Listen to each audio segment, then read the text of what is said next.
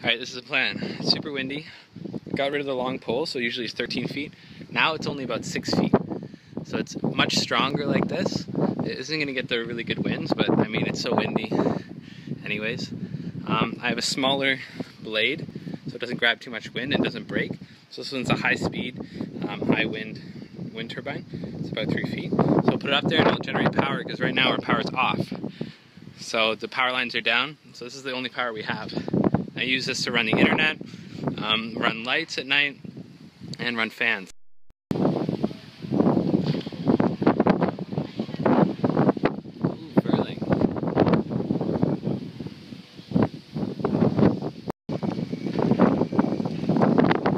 Free energy! Wind turbine, destroyed building from hurricane.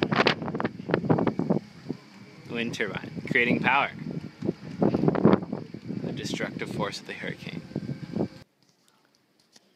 So this homemade light it was 50 cents. I made it from a car, uh, 12 volt bulb.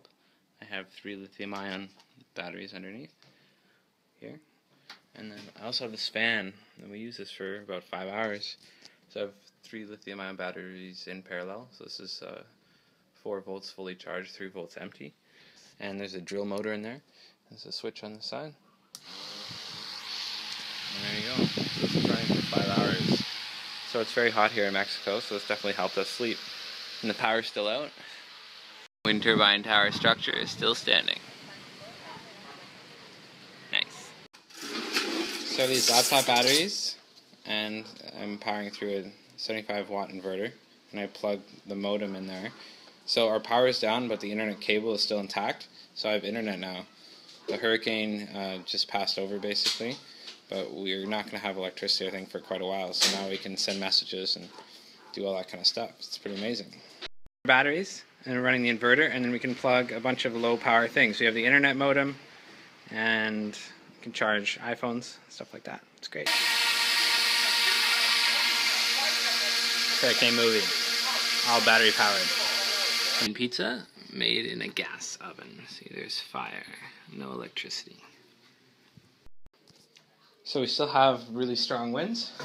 I just took this outside, so I had the larger 1.5 meter, four and a half feet wind turbine. Now I have the small one. This is about a three foot.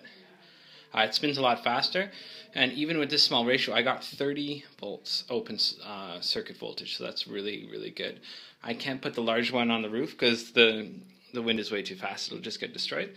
So I'm going to try putting this one on and see what happens. But this is where this is super, super useful. Our power is out. If I flip the switch, nothing happens. So now we have very windy conditions where we can make a lot of power um, from a wind turbine, and the power is out, so the power is super useful. Nobody else on the street has power, so it's really cool. Now put a wind turbine up here, but it's very windy. I don't know if it's a good idea. Still kind of like hurricane-ish tropical storm winds power is down. So this is exactly where we need to create power. It's a perfect situation. We have no power, so every little bit of power I get with the wind turbine. Here we go. This thing is hauling now. So lucky I have it on a short pole. The long pole snapped off already. Oh wow, it's really vibrating can hear the whine. This motor generator is really whining.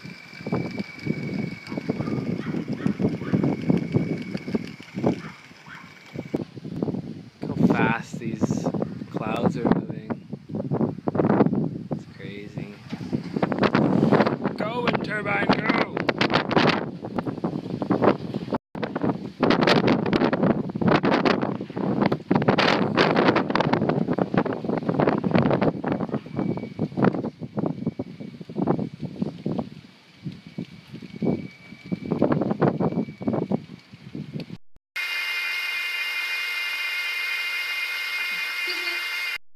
Maximum 29.5 watts, 2.4 amps at 12.27 volts.